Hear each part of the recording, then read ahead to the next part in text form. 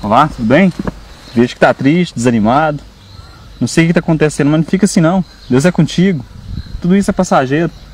Vamos para o céu mesmo? Ah, você fala isso porque não é com você. Já fiz três vestibulares. Não passei nenhum. Minha família não presta. Minha vida é uma miséria.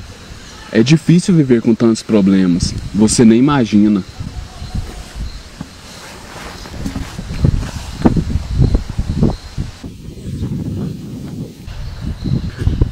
Oi aí, Jonah.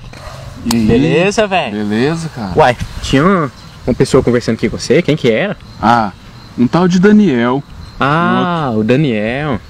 Você conhece? Conheço. O que que ele queria com você? Eu aqui passando por tribulações e ele me querendo dar lição de moral. Como se conhecesse minha vida. Aham. Deve que nunca passou por isso. É. Tem um ano que ele perdeu os pais deles num acidente de carro. Perdeu a mulher por câncer. Tem seis meses. E que sobrou dele é um filho que ele sustenta trabalhando na foice. Sério? Às vezes nós, com pequenos probleminhas, reclamamos tanto, né? E olhamos para as outras pessoas porque elas sorrirem. Isso se chama gratidão a Deus.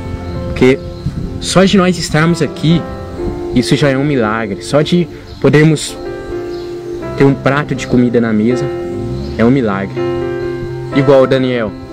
Perdeu a mulher pro câncer e você apenas não passou no vestibular e está reclamando. A gente vê ele sorrindo todos os dias.